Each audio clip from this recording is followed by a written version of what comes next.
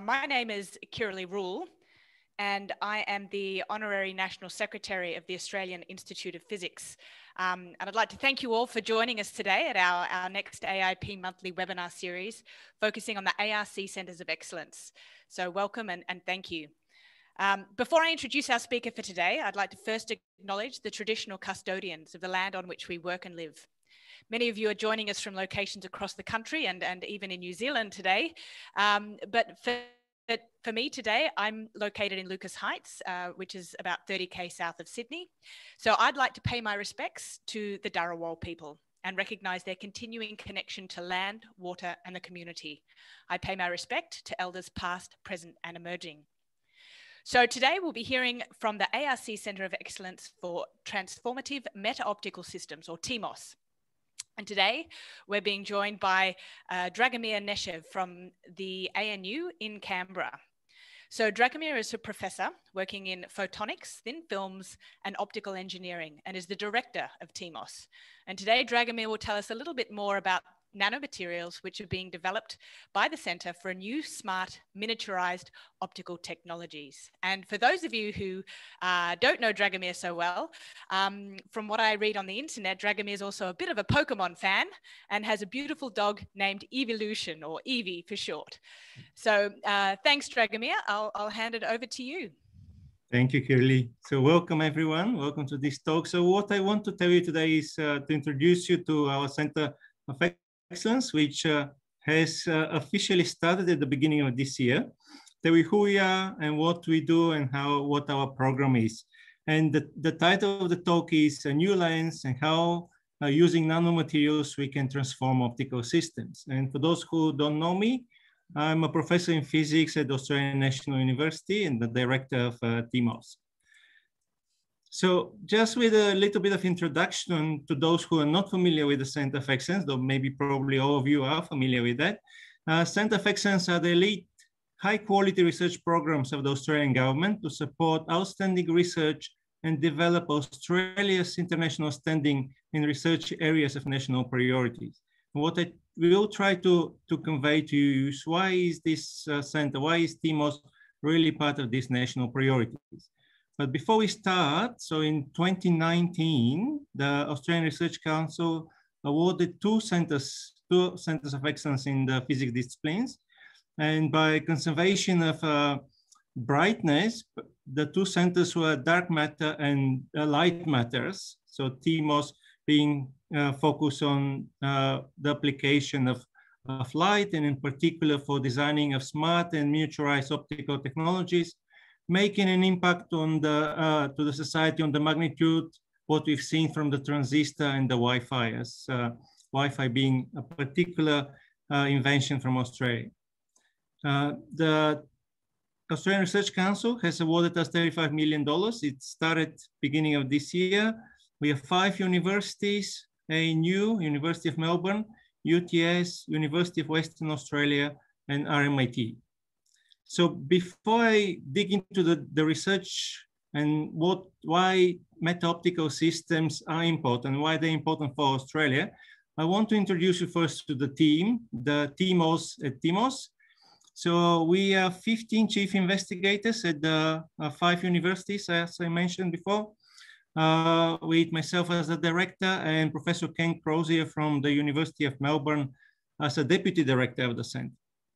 We are uh, split in multiple disciplines uh, covering from material science uh, to optics and um, electronics. But uh, very importantly, now that the, the center is started, we are supported by an excellent professional team with uh, Dr. Mary Gray as the Chief of Operations of the center, uh, Galina Shadrigova as Business Coordinator, Peter Novotny as inclusion, diversity, uh, equity, and access coordinator. And to my knowledge, this is for the first time a center of excellence has a coordinator in this in this in this uh, area to really put focus on how we how we deal with this uh, big issue of diversity in the STEM disciplines. And of course, last but not least, uh, Samara Thorn is uh, our engagement manager who is coordinating all the engagement with uh, uh, external st stakeholders like industry, government, uh, and schools. And she's the one, if you follow our Twitter account, she's the one who is also posting a lot of the information there. We also built into the, quite a large international network uh, from uh, three continents, mostly from the United States, starting from University of Central Florida, uh, Duke University, uh, CUNY, and in New York, uh, University of Arizona, Northwestern University, and two partner investigators at Caltech. Also in Singapore and in Europe, if you can call uh, British part of the community still, still part of Europe. Um, so back to the, our original question, why do we need optical systems? So I'll show you here an image of um, part of Canberra uh, with the balloon so uh, in, uh, over the lake. So what, what we, while enjoying this, this image, what we can appreciate also is how many optical systems are being used to appreciate this image in order for us to observe and appreciate the world. And you might say probably one or two, but the, the answer is probably a lot more, starting from the photographer who has taken the photograph with a large camera, camera lens and a camera detector. And I don't know how many people have joined today, but tens of, I believe, tens of screens and cameras also looking, looking at this to, for us to appreciate uh, such an image. So the, the bottom line out of this is that we use so many optical systems every day, and we don't even realize and we don't really appreciate the complexity of these systems.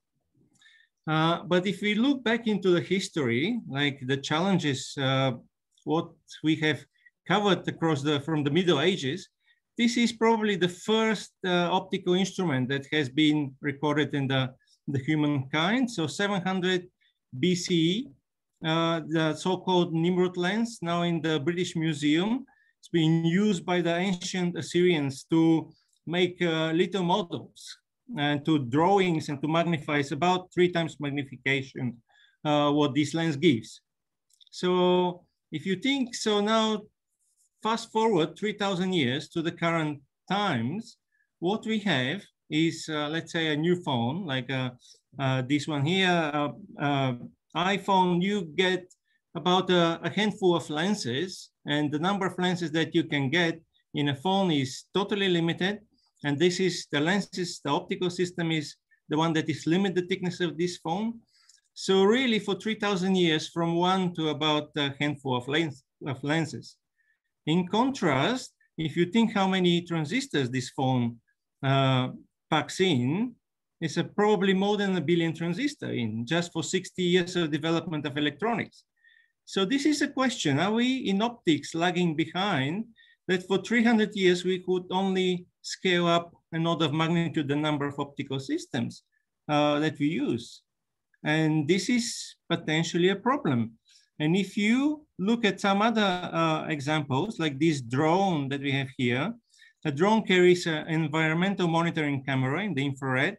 And this camera has the weight as far as the, uh, the weight of this camera is the same as the drone itself. So this drone does not fly very far. So this is clearly a bottleneck here that the optical systems uh, limit a lot of this uh, new application that we are seeing of miniaturized personal um, devices and, and uh, monitoring.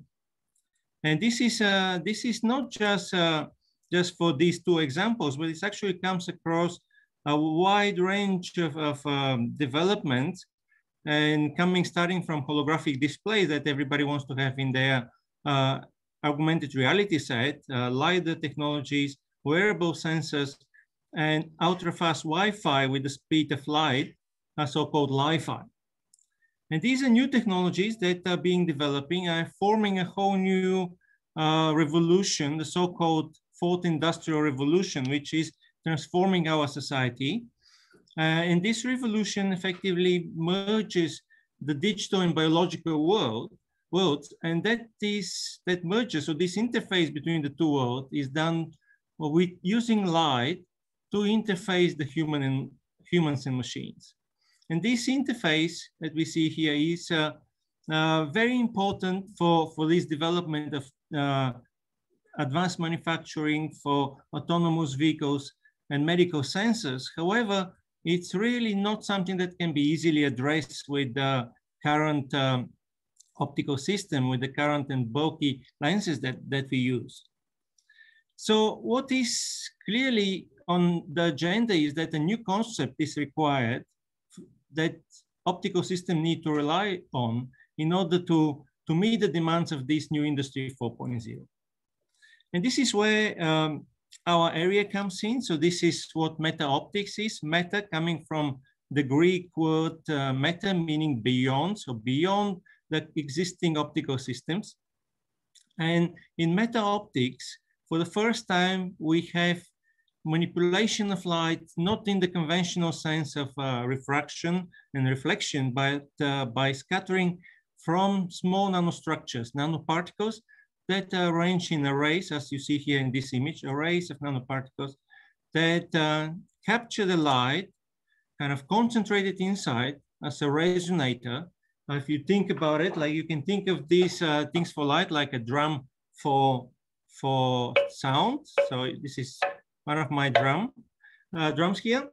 So what is uh, what you heard of this drum is the resonances that this drum has, but also the different sounds that this uh, drum can can give. In a very similar fashion, the small nanostructure uh, resonators for the light and allow for the light to escape after uh, after they, it's captured with um, specified and tailored polarization, color, and phase. And what this, uh, this new concept allows us is to, to make lenses a lot thinner, so thousand times thinner than a human hair, but at the same time to make a complexity of the optical system and the functionality a lot bigger. For the first time, one can just make a lens, not that can just image uh, cells, but uh, can also be a smart lens that can distinguish between healthy and diseased cells. Uh, furthermore, the fact that these uh, nanostructures are fabricated on a planar film allows sort of to merge the to merge the uh, chip making, like we know from the electronics industry, with the optics making. So the optics fabrication is becoming the same way as electronics making. And what this would allow is to make such big lenses that we usually know, and they're very complex to manufacture, big lenses for, for astronomy and for uh, space science uh, that have required complex polishing, three-dimensional polishing technologies to uh, prepare such lenses on a flat surface in the same way as making chips. And you can do this all across the entire spectrum of light starting from visible to the infrared. So this is a very powerful technique, and this is what this new concept gives us. If you look at the, the literature of uh, meta optics or meta surfaces as a more broader concept, uh, you will find lots of different meta surfaces composed of different nanostructures of different shapes, as you can see here in these several images different shapes, materials, different materials coming from uh, plasmonic and metallic structures to dielectric uh, high index structures to be able to, to make uh, very complex functions that interleave in a single surface uh, due to this discrete arrangement of, uh, of nanostructures. In addition, because of uh, this complexity, one now is able to perform very complex, arbitrary complex operation operations in the optics uh, on the optics field, such as image processing and image classification and image recognition even. And furthermore, because these elements are nano, nanoscale elements, uh, they can be potentially reconfigured because of their nanoscale volume. And so these, these are very powerful concepts, but you might ask, what is actually the common, what is the common uh, physics and the common science that uh, goes behind all these different uh, types of, of, elements. And the truth is that the, the science actually behind this re resonance scattering is described already more than 100 years ago, and it's been known to, the, to the humankind with this um, uh, man here, Gustav Mie, who already in 1908 described the scattering from small particles. The scattering was given by, by this formula, given two, two types of coefficients, which are uh, given here. Effectively, these are the electric and magnetic modes of the scattering. So this was the, the new thing that uh, he discovered. So we have two types of modes that exist simultaneously in the scattering, two types of resonant modes, one which are due to the uh, oscillations of the electric fields. These are the electric family of the modes, and another magnetic family, which are effectively oscillations of the magnetic field in these particles. And they, these modes have uh, different nodes and, and, uh, and complexity, uh, like from the fundamental to the higher order mode. So while this could be a bit abstract, maybe we can illustrate uh, this again with my uh, favorite example of, uh, of a drum.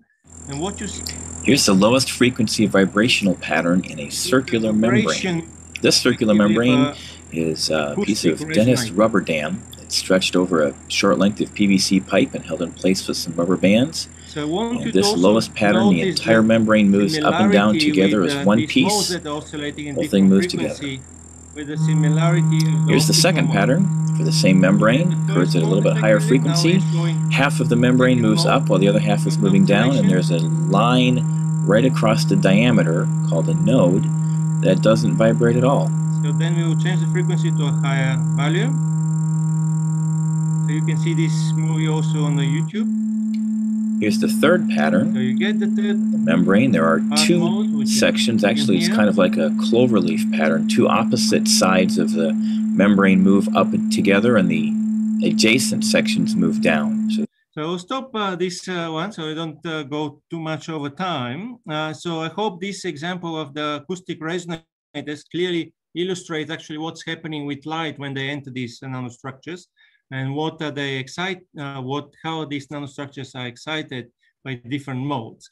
What is important to, to mention that each of these modes, at least for spherical particle, uh, is resonant at, uh, at a particular wavelength. So the wavelength of the resonance for this mode is different. And what is important also to point out the difference between optics and uh, sound is this, uh, these two types of modes that we have in optics, electric and magnetic modes. So what uh, I have shown you here on the right uh, of this uh, slide is the resonances or the transmission uh, of light through modes, uh, through array of such resonators. However, this time for simplicity, I have not used I have not used spheres, but I have used cylinders. And what you can see here is the uh, what happens in the transmission. So at each of the resonant frequency, uh, the light is being captured inside these resonators and is being scattered backwards. So that's why in the transmission of the light, we're seeing these dips. So minimum in transmission, and if you look in the reflection, you will see a maximum in the reflection. Um, what is also important to, to point out that at each of the resonance is a resonant phenomena, at each of the resonance, we have a pi phase shift of the transmitted light, change of the, the phase of the light with pi. And this is what allows this phase manipulation. However, at the early stages of the field, that was, uh, that was uh, hindered by the fact that with the right phase accumulation that you get, you also get this huge modulation of the, of the transmission, the, the transmission amplitude and transmission intensity. So the, the big change in, in the field came uh, also uh, as part of our research uh, when we realized that by changing actually the geometrical parameters of these disks, not just to mimic a sphere, but uh, changing the size of the disk, keeping the height the same, we can uh, bring together the two modes to be oscillate, oscillating at the same frequency. So one is electric, one is magnetic mode. And so in this way, we can bring also this phase modulation, which comes closer and closer together. So if I continue to change the size, we can perfectly overlap the two modes.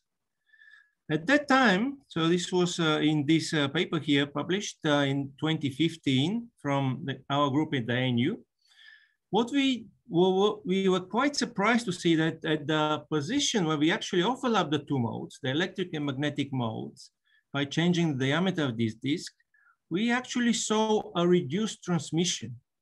So we were quite puzzled because we thought this reduced transmission is uh, uh, due to the reduced scattering. However, if you look at the, at the phase profile, it was clear that the, the phase is now changing not just by pi, but by 2 pi uh, phase shift, which was an indication of a very strong resonant phenomenon. And if we change the, the disk the particular, exactly particular size for, the, for its uh, uh, height, then what we could see is that the, the entire transmission of the light became flat. So we had no, no resonant phenomena inscribed in the transmission and all of the this scattering was entirely into the phase accumulation of the light that is transmitted through an array of such disks. And this particular condition is, uh, is called the Huygens condition. Uh, and it is called Huygens condition because it mimics uh, how Huygens principle works and the Huygens sources that only scatter in forward direction. And this is exactly a case where we have this only forward scattering for particular diameter of the disks. So now what one can do is using such uh, this particular uh, condition that we have entirely unitary transmission through, through an array of such uh, disks, what one can do is to line up disks of, of different sizes in order to modify the phase of the transmitted light. So the different sizes effectively shift slightly the, uh, the, resonant frequency. And then the light that comes from this part of the, of the metasurface, so keep in mind this is all nanoscale dimensions, is only increase, the light gets only uh, modulated by the phase shown here. The second one has a phase accumulation shown in this curve and so on and so on. So effectively, this structure poses a phase gradient, linear phase gradient on the, on the transmitted light. And this happened with unitary efficiency for the transmission. So this was a groundbreaking result because allowed uh, the community to make to make optical elements that have very high efficiency in transmission with full phase coverage from zero to two pi. So you name what phase you want, you can dial it in on your, on your meta surface. So effectively any phase profile can be encoded on a single surface. Just as an, as an example, uh, as I showed, showed you before, a typical example of a meta lens, a, a, a simple meta surface that focuses light in a, in a single point and can be used for imaging as well. So the way that works is for a lens, one needs to have a parabolic phase uh, inscribed on the beam that is transmitted through the through the uh, lens. So this parabolic phase, now we can discretize in particular uh, in particular grid, it could be square, it could be hexagonal, doesn't really matter. And then for each of these phase on the discretization, one can assign a, a cylinder with exactly particular size such that uh, such uh, elements have multiple disks of different sizes will inscribe a parabolic phase onto the transmitted beam. If you want the lens to be bigger, you just need to fold in 2 pi this transmission of the uh, for the light and encode more and more in this 0 to 2 pi transmission. So this is what allows you to, to make a lens. If you want to make a, a beam steering device, you can just plot a linear gradient and so on and so on. So this was the basic of the of the meta optics, and the, the field really exploded uh, after after the ability to create highly efficient devices uh, made of nanostructures. But let's just uh, go back a little bit into the history and see how this how this field had developed in Australia. So the field in meta-optics in Australia, when, does, when did it first start? So everything has a long history from the Mie theory, but if you look in Australia and dig a little bit in the literature, you will find this work published in Nature in 1977, just a few months before the release of the first Star Wars movie. So can you guess what the, who were the authors of these papers? I hope some of them are here. So these were two blokes from the University of Sydney, David McKenzie and Ross McPhedran, who first uh, described uh, how to model a cubic lattice of particles and the permittivity, permittivity and conductivity of such lattices of small particles. Later on, both of these guys, uh, together with collaborators, so with uh, Professor Ross McPhedran, further described the problem of uh, cylinders that I also showed you before. So this was 1979, uh, uh, and not uh, far later, a very bright scientist, Professor Anne Roberts, now professor in Melbourne, working at the time with, with Ross McPhedran, also described how to make special devices like bandpass filters made out of uh, small nanoparticles, in this particular case, uh, uh, annular apertures uh, in a gold film.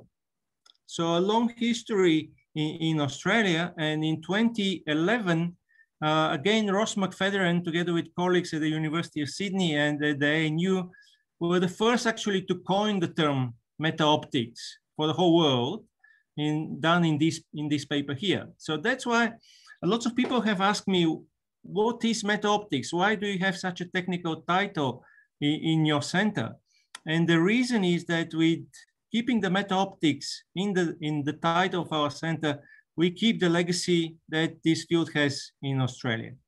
And since 2011, the, the field has been uh, really active and, and very, very diverse with a number of works done by the TMOS uh, team, but also by other researchers, uh, including nanolasers, holograms, tunable beam steering, single photon sources made out of um, such elements, uh, tomography for quantum states, and very high efficiency detectors. And that's what the foundation that our center builds on. Uh, and at the time, uh, while this was a very vivid film when we put in our application for the center, uh, most of the work that has been done is really on static uh, type meta-optics. So once you fabricate it, you fix it, and that's how you use it. Uh, however, in the center, we want to build a lot further beyond this static picture and to come to uh, an active meta-optics being able to actively generate dynamically manipulate and detect light in these ultra-thin materials by coupling of such nanostructures with uh, semiconductors and with other materials. And you can think this might be an easy task. However, if you think about the, the, fact that the light is uh, a particle that doesn't really easily interact with matter, it's actually very difficult to do such things in ultra-thin uh, ultra thin materials, such as few, few hundred nanometers thin materials. So this is why the challenge is, and this is why this resonant phenomena of the light build the foundations for, for these light matter interactions at the nanoscale for light generation, dynamic manipulation and detection.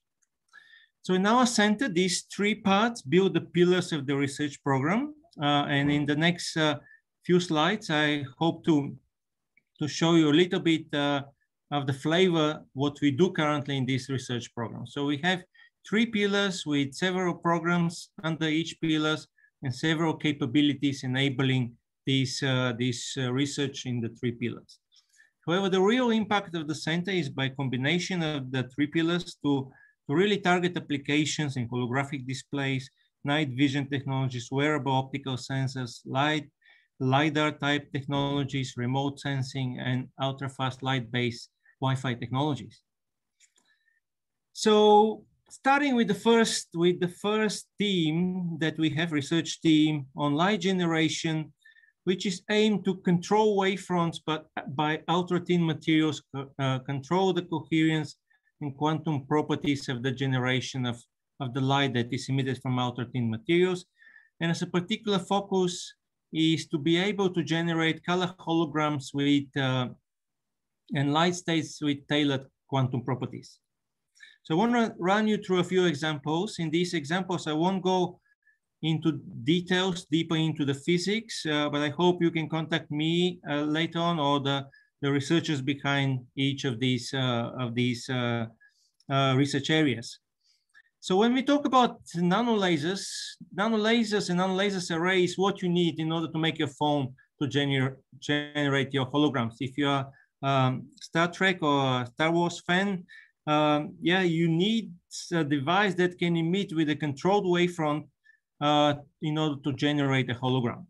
And you cannot do this with the LED. So with our displays that we currently have in the, in the phones, you need a coherent light. If you want to build this in this display in augmented reality um, set or in a mobile phone, you need this to be highly miniaturized sub-micron level.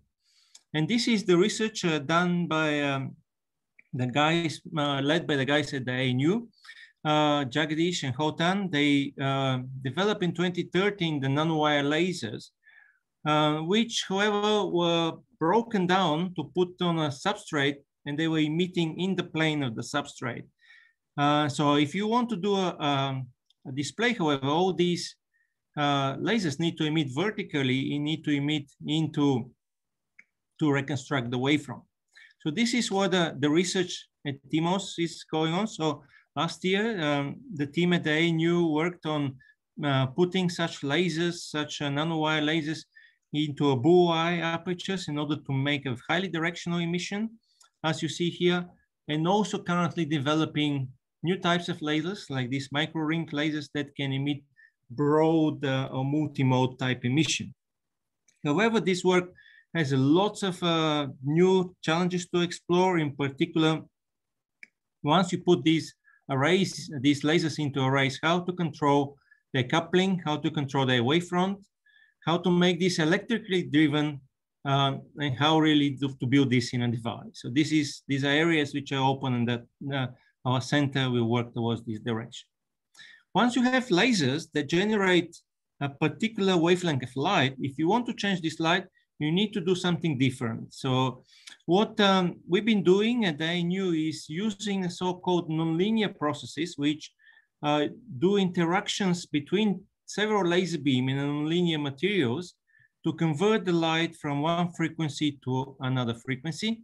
And as a particular application for this process shown here, which is called sum frequency generation, where two photons combine to generate a new photon at a higher wavelength, we have shown how to use this process, how to enhance this process in metasurfaces using this resonant enhancement of the light fields inside the, inside the nanostructures and use this for upconversion of infrared images using a pump beam to convert these images coherently to the, infra, uh, to the visible domain such that can be observed either by eye or by standard CMOS cameras, such that these type of night vision devices are not affected by the thermal noise or by other uh, difficulties with infrared detection. So to do this, uh, uh, a bright colleague of mine who is now uh, in UK, uh, Mohsen Rahmani developed this uh, kind of technique to actually collect very high nonlinear nanocrystals from aluminum gallium arsenide fabricated here by the group of Professor Jagadish and Hoe Tan to peel them off into a polymer layer and to be able to put them on a transparent substrate such that they can really be used as a metal uh, surfaces to enhance the light matter interactions.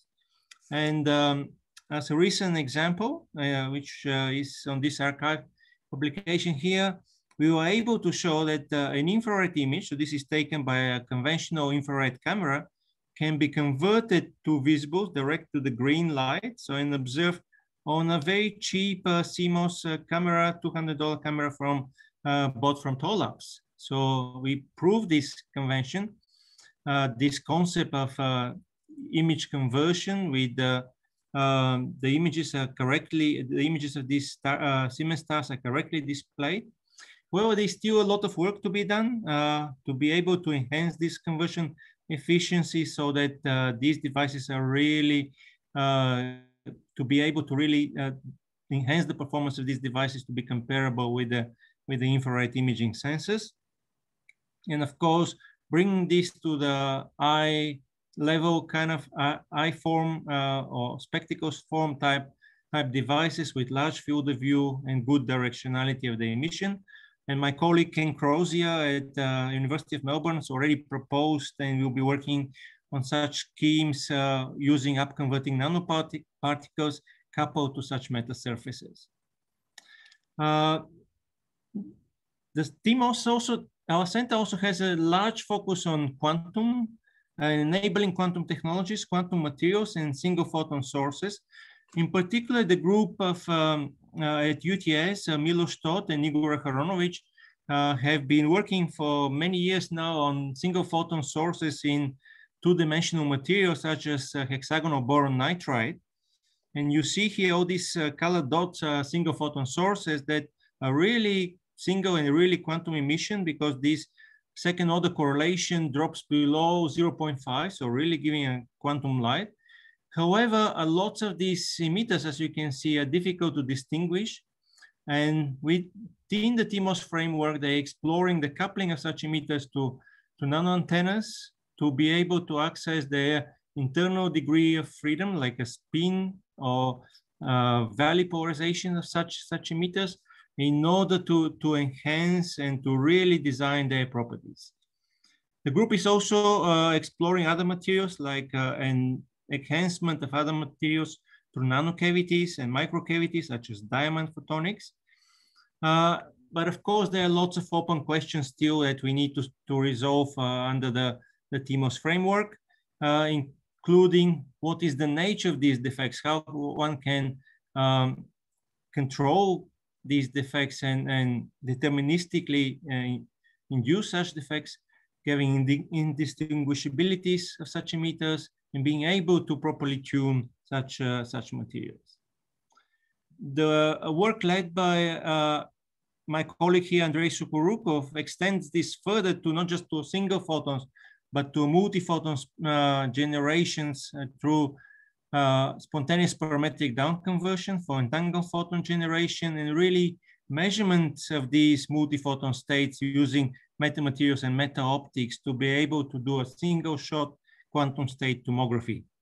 Of course, a lot of open question in front, questions in front of us for the next years to, to work uh, on generation of the entangled uh, photons of different spatial modalities, which is something unique to, to these metasurfaces, and transformation of such multi-photon states uh, from one quantum state to another. And of course, looking at applications in uh, quantum imaging, communications, and spectroscopy. Within the second team for, uh, for light manipulation, the center aims to develop um, meta, meta optics for dynamic light manipulation in space and time. Uh, and this will be for uh, high uh, modulation uh, with wide angle and high speed for Li-Fi and light, light, LIDAR type technologies. And within this uh, second team, we have uh, several works that are strongly going ahead. In particular, using metasurfaces for image processing. This is a direction led by Professor Anne Roberts at the University of Melbourne, who have shown that uh, just a simple layer of metasurfaces can do a spatial uh, filtering in the K-space without needing of a complex uh, uh, imaging systems, 2F2F uh, imaging systems with lenses. So that can be all, all done in a single layer to, to produce so-called edge detection of the images. And these are very important filters for, for, autonomous, for autonomous vehicles, where all these uh, edge filters are, are really what is used in, in current currently with electronics to, to make these uh, uh, self-autonomous uh, vehicles. In our group, we have also explored these, these directions by looking at the resonance enhancement of such filtering through uh, resonances. Uh, in particular, here, as you see, the edge detection of the Australian Parliament uh, published recently in the ACS Photonics. And Anne has gone a step further together with Tim Davis uh, to really apply such processing to uh, live cell imaging for phase contrast microscopy And here with the acknowledgements to, to Tim Davis, who is associate investigator on the center, just uh, a one quick video to, to show how such imaging of live cell, cells can be enhanced by using nanophotonic devices or metasurfaces of this kind. So the, the metasurface is in the plane and on top of the meta surface, which is called here the device. So this is off the device. There are various cells that are being deposited. So you see here, there are lots of cells, but without the device, you cannot really see where the cells are.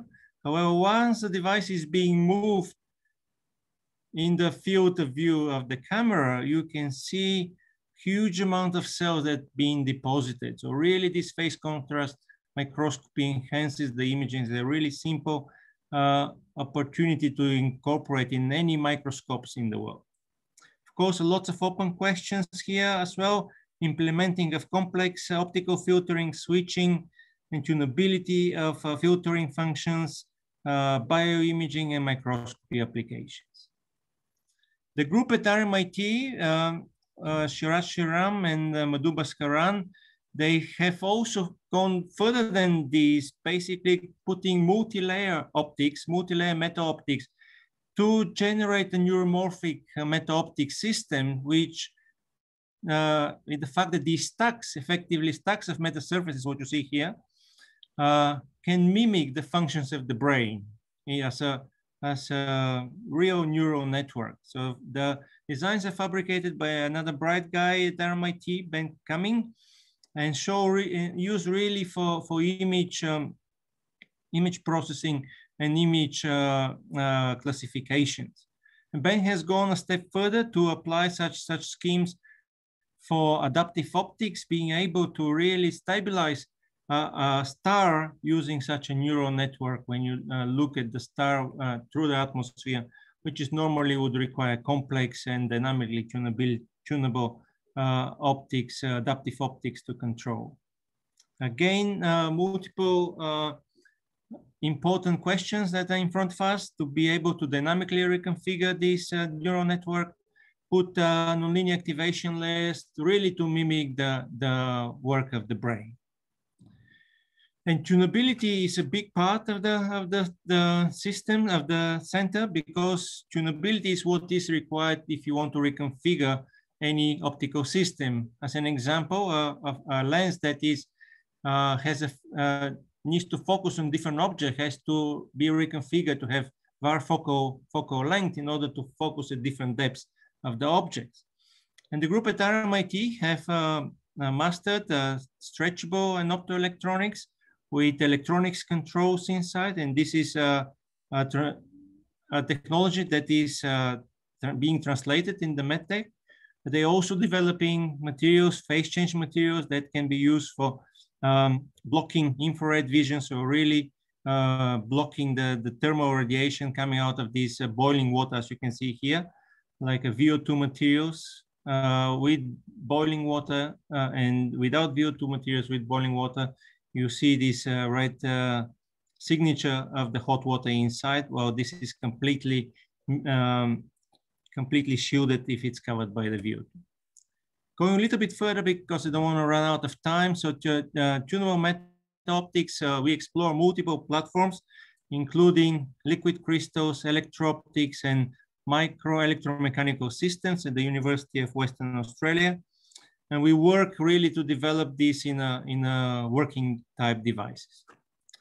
The last theme, the detection part of the center is the detection of Im images or an imaging of the invisible properties of light, such as infrared uh, light, phase, and polarization, and so on. And this is very important for application when you want to look into the uh, through the smoke. So this is uh, infrared vision uh, in a fire. So a firefighter can see a, a, person lying on the ground here using infrared vision. So meta optics uh, infrared vision could really be helping to save human lives here. Uh, and as a start, uh, there are several developments. So Professor Ken Crozier is developing these uh, miniaturized uh, miniaturized spectrometers that are based on structural colors in, in silicon. And because of the resonances, each of these parts are resonant at particular wavelengths. So you see a clear image here of the different wavelengths and the colors of different wavelengths that are resonant and be able to detect uh, immediately with a very high accuracy uh, the spectra of the incoming light. And that uh, will be de uh, developed further to apply for hyperspectral imaging uh, and realize miniaturized FTIR uh, spectrometers and really find the optimal detection responsibility to be able to identify uh, chemicals or other uh, target molecules that are in close proximity with, with the spectrometer. And the group uh, uh, at the ANU have uh, further developed nanowire type detectors in order to detect light with different polarizations. You can see here the nano hashtag uh, detector published uh, light, uh, last year in Science. And the group of Francesca Iacopi at UTS have been also exploring a new platform of graphene of silicon carbide in order to make new types of detectors uh, when the, the graphene is really uh, en enclosing the silicon carbide on the top. And again, lots of open questions to, to develop for high performance uh, angular selectivity, polarization, and quantum level detection. And last but not least, the group uh, at UWA have uh, this uh, very exciting technology, mercury cadmium telluride detection, which is unique in Australia and just a few of these in the world. So we can, they are clearly the leader in this creating infrared detectors and mid-infrared detectors you can see here a working prototype and one image of this uh, working prototype really in the infrared and notice here this visibility, what's in the pocket of this person here. You can see through the clothes uh, really for important applications in, in monitoring uh, and combined with uh, security and combined with uh, MEMS type technology can be used for hyperspectral imaging, monitoring of fruit and agriculture. But of course, the whole uh, the whole impact of the center comes together when all these three three topics are uh, really combined, and this goes into multiple technologies for transport, health, defense, education, communication, and agriculture. Uh, and uh, last year, the Australian New Zealand Optical Society released a report for the uh, photonics industry in Australia. So if you haven't read this report, go to the Australian New Zealand Optical Society website, optics.org.au, and you will see that this is a vivid industry and it's really building a lot and is growing on this on this uh, new type of technologies and is forming at the moment $5.4 billion in the Australian New Zealand economy, employing more than 12,000 people and over 500 companies. And we expect this is going to be uh, this is going to grow in the next years due to this development of uh, Industry 4.0. And special thanks to the authors of this report, John Harvey, Simon Poole, John Lincoln, who really made an incredible work here and are hoping to, to show the, the growth of the industry in photonics in Australia in the next years. As an example of the industries in Australia, uh, one of our partners is Seeing Machines, uh, and they're working in driver fatigue monitoring, which is a big, uh, important case uh, for uh, for stopping uh, road accidents or fatal ro road accidents. It's a huge market, but of course comes with huge problems because every car is jam-packed with, with equipment and there is no space to, to put enhanced driver monitoring inside the car. So this is where these miniaturized optical technologies come into place to be able really to illuminate the driver, to do face ID of the driver, so you won't require any start uh, uh, engine key, uh, but also be able to discriminate the reflections from, from eyewear, such as glasses, here, which will allow such technologies to be really, really um, accurate in detecting the the awareness of the driver on the roads as to be able to switch between, between self-driving modes and, and uh, uh, manual operation of the modes. And uh, the, there is a huge industry pull to the whole field. I'll just very quickly describe what's happening uh, across the world. So this is a, uh, this is a graph of different applications like vision here. There is a TRL level on the bottom. So the ones on the left are higher TRL levels and the, the ones on the right are lower technology transfer level. So we're already seeing several companies in the field. So Metalenz is uh, making lenses for mobile phones. Uh, Lumotive is uh, working on, on uh, LiDAR type technologies. Uh, iPhones already have a part of such technologies for Face ID, and we're using it. So this is how the how the meta surfaces look like. Uh, it's already in the phone, uh, but we also see huge growth in AR and VR type sets, uh, polarization imaging for defense and so on, and image classification for, for real identification. Samsung is pushing really hard holographic displays. Uh, a company called Meta Optics uh, is uh, doing uh, notch filters for protections of pilots, especially for, from laser illuminations. Uh, and somewhat on the lower TRL level, we have the microscopy part, as we saw from, from Anne Roberts, but also from other groups, and uh, biosensing based, optical sensing based on metasurfaces as coming from some of the initiatives also in, in the ANU. The center has multiple partners. I'm nearly finished, uh, multiple partners that are committed, but of course, uh, we have uh, partners that are really happy, uh, looking forward to engage in the future, looking for opportunities uh, and joint, joint uh, ventures, uh, so to say. And beyond that, beyond the industry, what the center aims is to really drive a multidisciplinary and inclusive culture for leaders by promoting several programs in education. So we've already run several um, colloquia, two colloquia. So today we had a very exciting colloquia by Professor Kishan Dholakia on, on bioimaging. And we want to support such activities in Australia for everyone, really also to help in the education in STEM, kind of bringing some of the some of the work forward, helping with the uh, school curriculum and public engagement with everyone.